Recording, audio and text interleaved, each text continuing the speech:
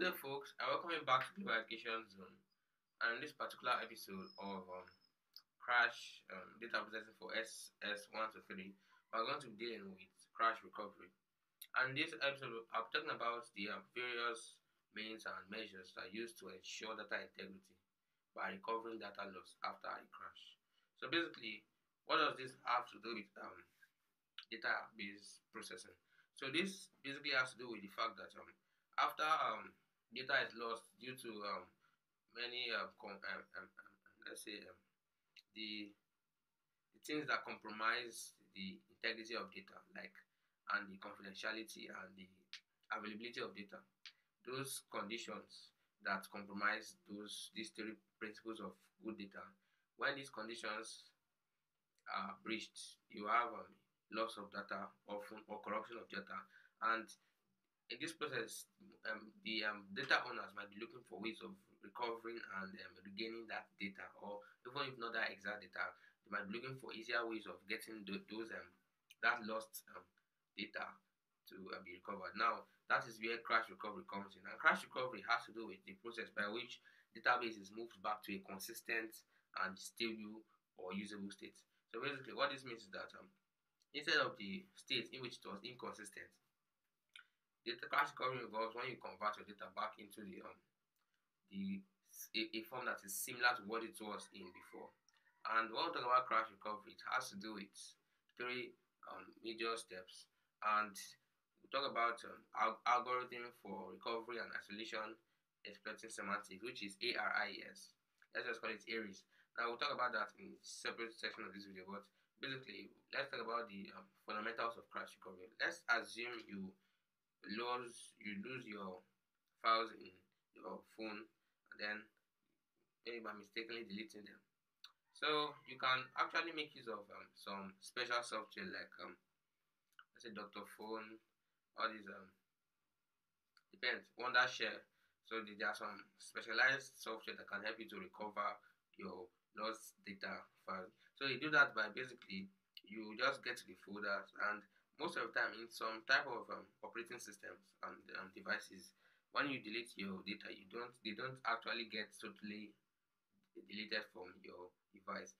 It's not totally deleted at, at once so you get it. So there's still some chance that you can still recover those deleted files. So that is where we have all these um, crash recovery coming in. And this crash recovery there are different ways there are different ways. But these conditions what are the conditions that can lead you to lose your data? You can have power failure can have a hardware failure. Just like maybe when we see had the um, the the hard drives which used to rotate very fast. So at times there could be some failures with the mechanical parts of the hard drive, and then you have um, a loss of data. So that's one of the conditions that can lead a um, computer user to need crash recovery. Now, let's talk about something else, and that is the recovery procedure after crash. That is a ARIES. It's actually a um, it's an abbreviation ARIES for the algorithm for recovery and isolation exploiting semantics. So this recovery works in three phases. So we have the analysis phase, and the analysis phase is compute all the necessary information from the log file. So basically, for example, if um I lost my my um, maybe a video on my phone, but this time around we are dealing with database. So let's talk about something more serious, like a database of your customers. Maybe you own a small business and you have customers. Then you need a database you of the um, the goods bought and the dates and the um, other information about your business. So then mistakenly you deleted that database. So basically, the first thing that your um, crash recovery will um, involve it is the um, analysis of that um, that file. So basically, that log file means the place where the file was. So wherever folder you might have stored the files will be analyzed. Then you have the next stage, which is the redo phase. So this redo phase restores the database to the exact state at the crash, including all the changes of uncommitted transactions that were running at that point in time. So that is the redo phase. Then we also have the undo phase.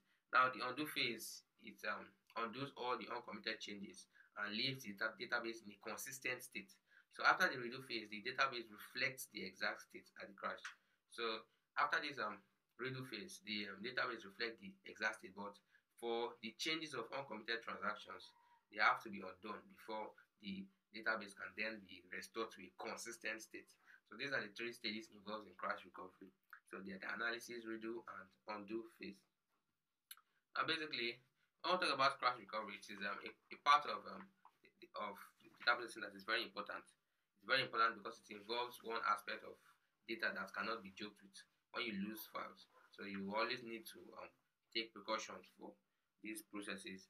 then we have um, the different um, we have different terminologies and um, other recovery related to data structure. You have the write ahead logging protocol. So in this diagram, we have something that has to do with um, all the actions before each checkpoint will be checked, will be written into the log file after the action. So basically, your your um, your crash recovery involves when you are also trying to take note of every action, everything that was done on that file. Because in, in computers, everything that is done with a file, they have been stored, every action that is done with a file. So it needs the actions, those actions. So this, this is kind of like a, a list of the actions that were, that were carried out on this file. So before it was deleted.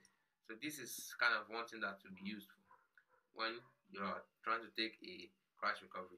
So apart from crash recovery, there's one sub sub team of crash recovery known as media recovery. And media recovery deals with the failures of the storage media holding the um, permanent database. So, and when we talk about the media recovery, the archive log log containing the um, log record, that's the file basically, the record of the um, it's kind of like should we say it's a thumbnail, so just like your files have your extensions and thumbnails. So it's kind of like your archive log is something related to your file. So it contains a log record of for all the committed changes which are not yet reflected in the um, archive copy.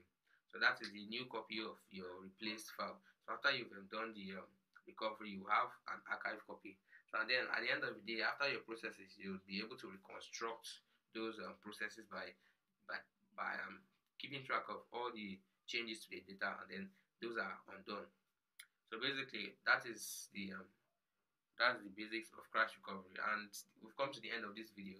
So yeah, we're dealing with exercises. So the first one is explain crash recovery explain the um, following points media recovery, checkpointing, and write ahead log protocol, and discuss the concept of ARIES. So I hope you enjoyed this video. Thanks for watching, and I hope to see you next episode.